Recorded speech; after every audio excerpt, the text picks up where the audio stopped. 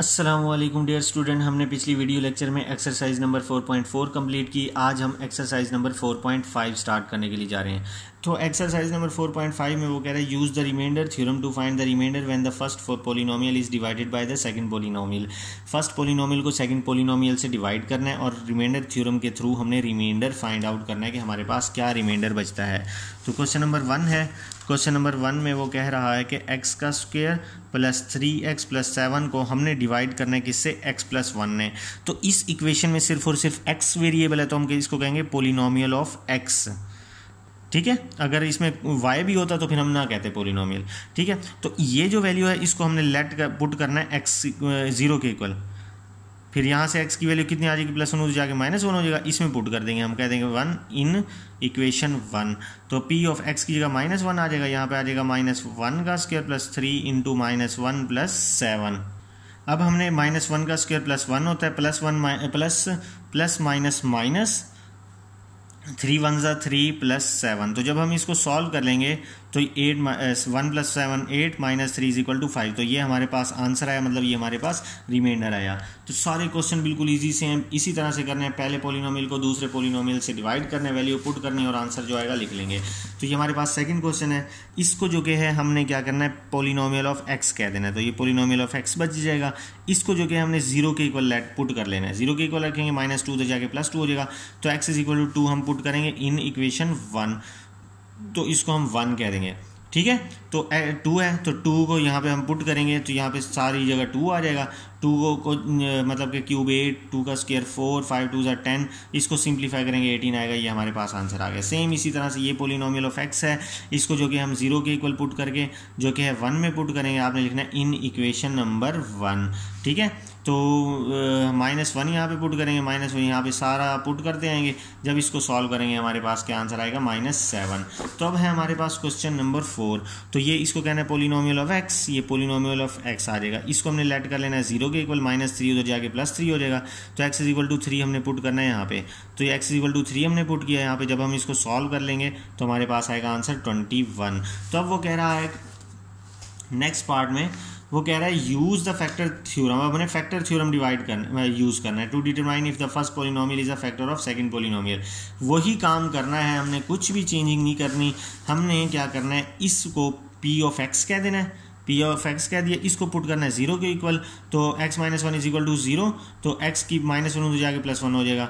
तो हमने x is equal to one put करना है इस इक्वेशन में तो वन इधर भी वन आ जाएगा हमारे पास। तो वन प्लस फोर वन ज़ा फोर माइनस फाइव तो वन प्लस फोर ये वन प्लस फोर कितना हुआ? फाइव ये माइनस फाइव तो फाइव माइनस फाइव कितना हो गया? ज़ीरो तो अगर तो आंसर आ गया ज़ीरो हम कहेंगे yes first polynomial is factor of second polynomial के फ़र्स्ट पोलिनोमियल जो कि है वो सेकेंड पोलिनोमियल का फैक्टर है। अब इसी तरह क्वेश्चन नंबर सिक्स में करना है, हमने इसको कह देना है पोलिनोमियल ऑफ़ एक्स तो पोलिनोमियल ऑफ़ एक्स कह देना है हमने इसको पोलिनोमियल ऑफ़ एक्स अब हमने इसको ज़ीरो के इक्वल पुट करना है। X minus two is equal to zero minus two तो जाके प्लस टू हो जाएगा। तो यहाँ पे हम एक्स की जगह पे क्या कर देंगे पुट कर देंगे टू को। तो टू को पुट किया आंसर हमारे पास जब सिंप्लीफाई करेंगे तो माइनस वन आएगा तो no first polynomial is not the factor of second polynomial ठीक है, इसी तरह से हमारे पास क्वेश्चन नंबर सेवन में है। क्वेश्चन नंबर सेवन में अब देखें डब्ल्यू मतलब ओमेगा दिया हुआ है। उसकी जगह पे एक्स की जगह पे ओमेगा दिया हुआ है। तो ये पोलिनोमियल ऑफ़ ओमेगा बन जाएगी पोलिनोमियल ऑफ़ ओमेगा तो ये हमने एज इट इज़ लिख लेना है, इसको पुट करना है ज़ीरो के इक्वल तो omega plus two is equal to zero plus two उधर जाके माइनस टू हो जाएगा। तो ओमेगा की जगह हमने माइनस टू इधर सब में पुट करना है। पुट करेंगे, जब हम इसको सॉल्व कर लेंगे आंसर आएगा थ्री तो इसका आंसर क्या है? No first polynomial is the second not the factor of second polynomial अब हमने क्या करना है?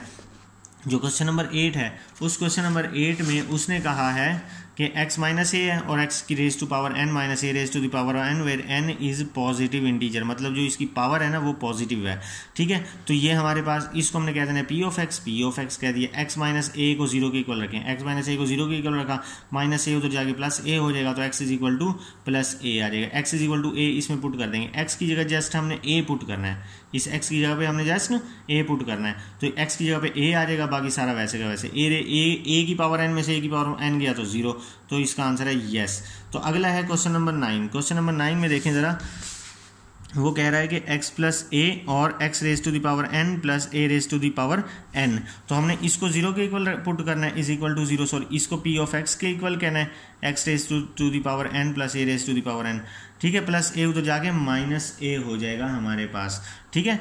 अब हमने क्या करना है? यहाँ पे पुट करना है। p of minus a is equal to minus a whole की पावर n है। Plus a raise to the power n इसका ख्याल करना है माइनस को ऐसे ना लिख दीजिएगा माइनस ए की पावर एन नहीं, ये और ये गलत है इक्वल नहीं है। तो आपने इसको ब्रैकेट डाल के माइनस ए लिखना है, फिर होल की पावर एन लिखना है। अब हमारे पास जो क्या है कंडीशन है कंडीशन ये है, ये ये देखें।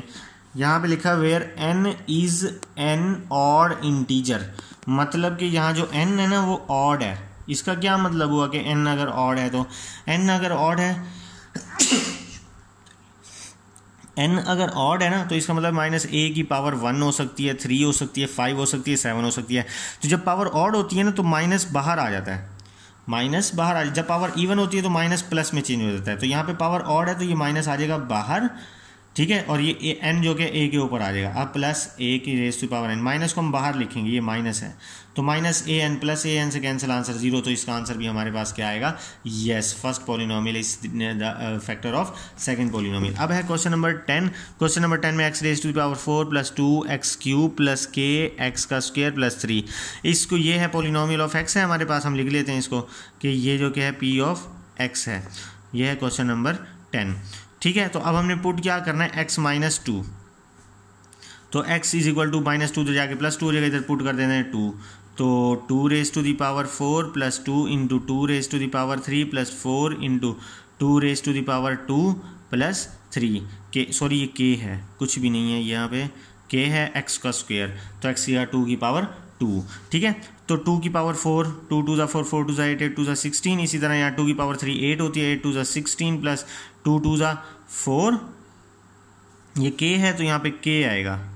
इसको के बना दें ठीक है तो ये के आ जाएगा फोर के प्लस थ्री तो sixteen plus sixteen thirty two plus three thirty five plus four k अब ज़रा हम गिवन कंडीशन पे गौर करते हैं कि गिवन कंडीशन हमें क्या कह रही है। तो हम, हमें ये कह रही है given condition question number ten में देखें। वो कह रहा है कि fine sorry the remainder is one remainder क्या होना चाहिए? वन तो हमारे पास ये जो निकलता है ना, ये ये होता है रिमाइंडर ये क्या होता है? रिमाइंडर तो रिमाइंडर किसके इक्वल होना चाहिए?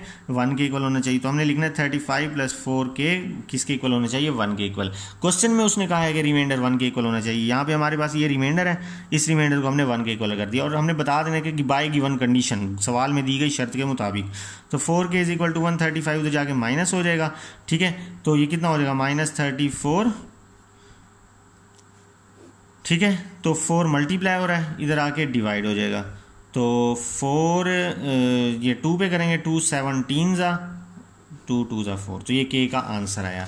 इसी तरह से जो कि हमने करना है question number eleven question number जो इलेवन है, वो है एक्स की power three plus two x का square plus k x plus four इसको हमने डिवाइड ये है हमारे पास पी ऑफ़ एक्स गिवन है। इसको हमने डिवाइड करना है एक्स माइनस टू से। तो इसको ज़ीरो के इक्वल रखेंगे माइनस टू उधर जाके प्लस टू हो जाएगा। हम इसको पुट कर देंगे। किसमें? इधर।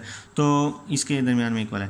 पी ऑफ़ एक्स की जगह पे टू आ गया, इधर आ गया। टू की power three plus two into two की power two plus k into two plus four two की पावर थ्री एट होता है, टू टू ज़ा फोर फोर, टू ज़ा eight, plus two k, plus four, eight, plus eight, sixteen sixteen और ये four, कितना हो जाएगा, ट्वेंटी।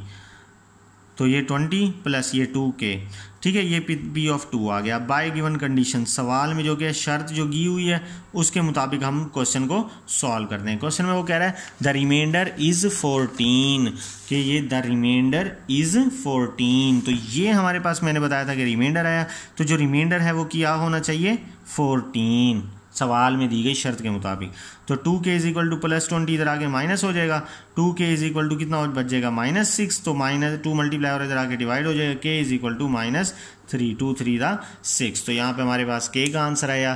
तो इसी के साथ हमारे इलेवन क्वेश्चन सॉल्व हो गए।